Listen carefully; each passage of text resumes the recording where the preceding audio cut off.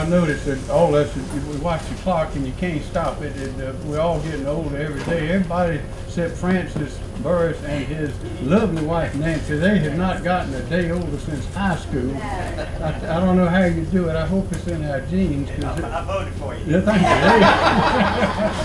uh, this is this is a happy happy thing. I love to come to these kind of things.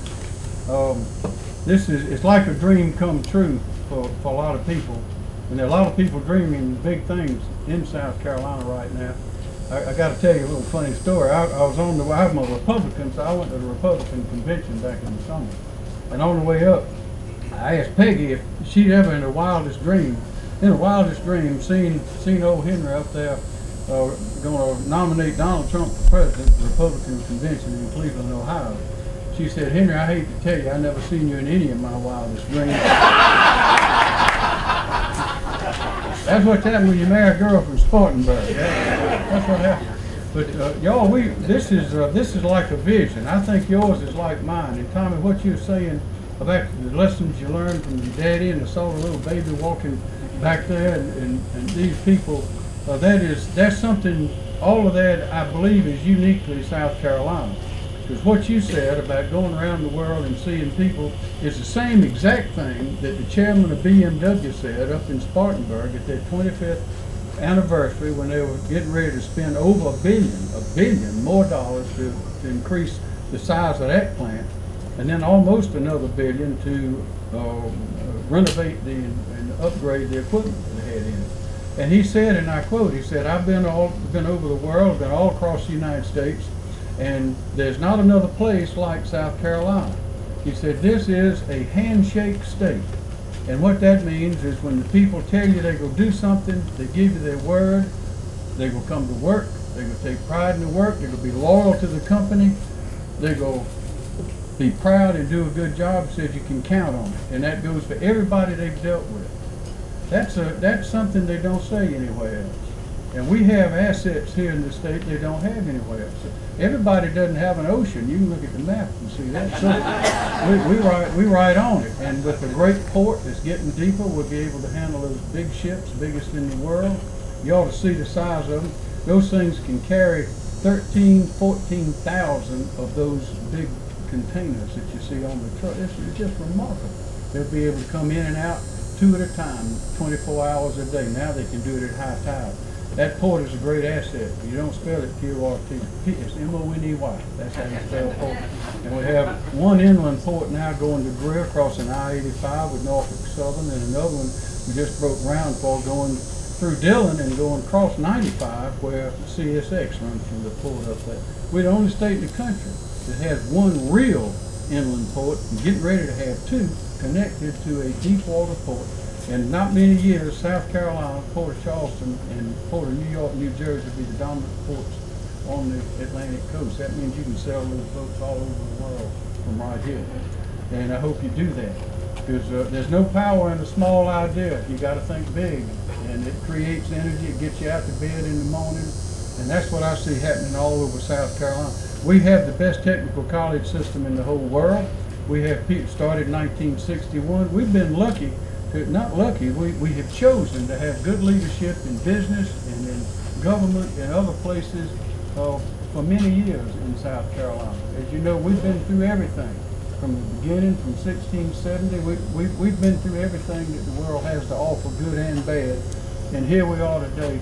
We're strong, as the chairman said, and as you said, we're different and we are right on the cusp of great economic growth, more than we've ever seen before. And I remind everybody, at the time of the revolution, this was the richest place in the New World. And all the all the explorers had been writing back to the kings and queens, their sovereigns, saying there's no place like this anywhere that we've been, because of the vegetation, the animals, the water, the climate, uh, the fertileness of the soil, all that. And, and we, we still have all that. Great technical college system, that is producing the kinds of workers. We've got a big gap. We need more of those kind of work. And those jobs are different.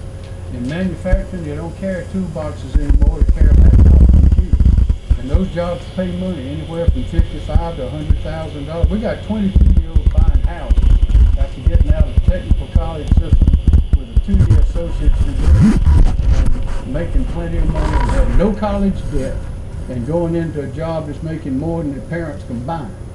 And the same parents who are urging them to go to a four-year college and get a degree in French literature.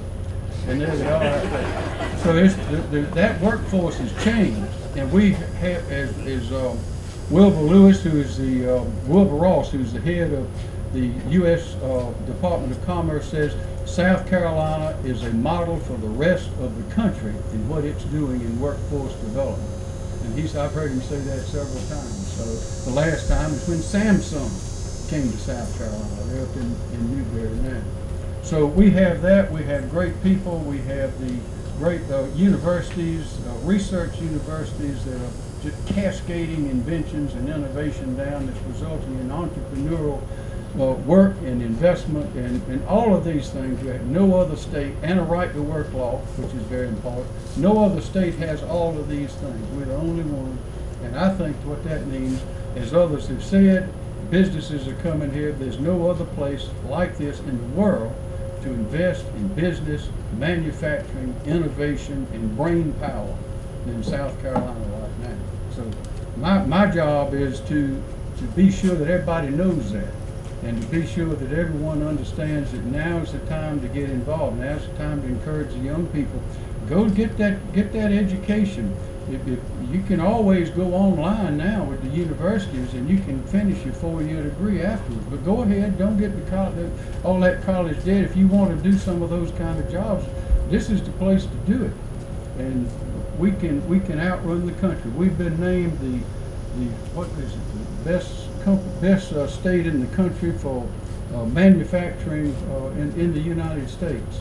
We get all those kind of accolades. Charleston has been the number one tourist destination in the world a number of times. We got the number one ballerina on the New York stage right now from Columbia. We win in championship, baseball, basketball, football, horse riding, all kind of stuff. Soccer? No, not soccer. What's the other one? Uh, what's the one that's like soccer? Anyway, that one. Oh yeah, that's it. So uh, uh, we we we are in a great position, and it's because of the natural resources that the good Lord gave us, and by the great people we have that are now being recognized as, as being different. And finally, a little story people tell me, I've heard it in different ways, different, so many times from people out of state. They say, I can always tell when I'm in South Carolina. I don't have, need to see a map, I don't need to ask anybody, I don't need to look directions. I can tell. How can you tell? See, when I go into the restaurant and order my meal, between between getting my plate and getting my bill and leaving, the waitress will call me honey, sweetie, darling, and dear.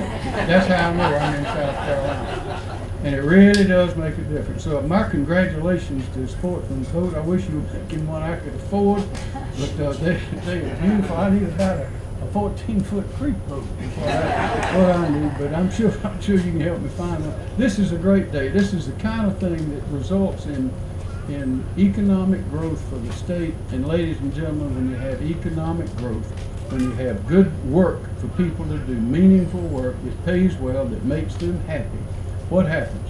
Crime rate goes down, the domestic violence rate goes down, drug usage goes down, marriages go up, divorces go down, everything gets better. So th this is really the key to making South Carolina even a better place. So I appreciate your risk that you took and your investment, and uh, as well as the investment you're making now. And I want you to know that anything that uh, anything the state government can do to help you and encourage you, and we, we're there to do it. So thank you and congratulations for a, a, a great job that you do. Thanks. Oh, thank you. I have a That's gift. your boat. Just boat, a little bigger than this. This is a, a gift to your colleagues. It is a brass plate, and it has on it the, state seal, on which is inscribed "Dum Spiro Spero," which means, "While I dream, I hope." And we're dreaming and hoping that you will get bigger and better and stronger, and we thank you. Thank you. Thank you.